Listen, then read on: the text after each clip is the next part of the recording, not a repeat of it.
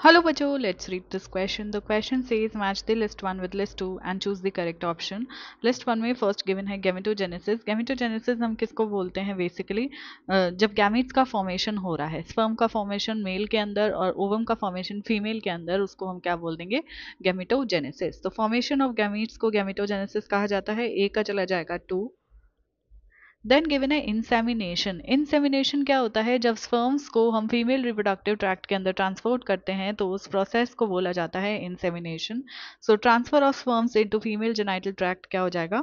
Insemination so B का चला जाएगा वन देन गिवन है gestation gestation is basically the period of human pregnancy अगर ह्यूमन प्रेगनेंसी नहीं हम uh, किसी भी ऑर्गेनिज्म की प्रेगनेंसी का जो ड्यूरेशन होता है उसको हम बोलते हैं जेस्टेशन पीरियड ठीक है?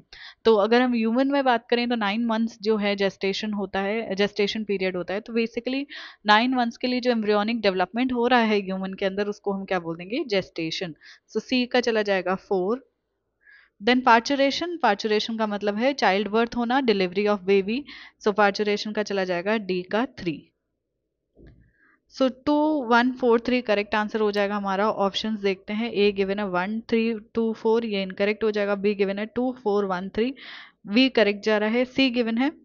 सॉरी बी इनकरेक्ट जा रहा है. ठीक है?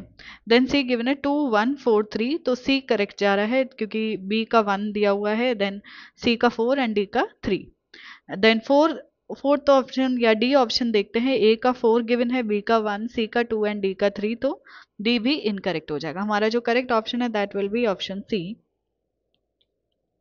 इसके रिगार्डिंग इन्फॉर्मेशन आपको ट्वेल्थ की न्यू एनसीईआरटी में पेज नंबर ट्वेंटी सिक्स पे मिलेगी। आई होप कि आपको क्वेश्चन अच्छे से समझ आ गया है।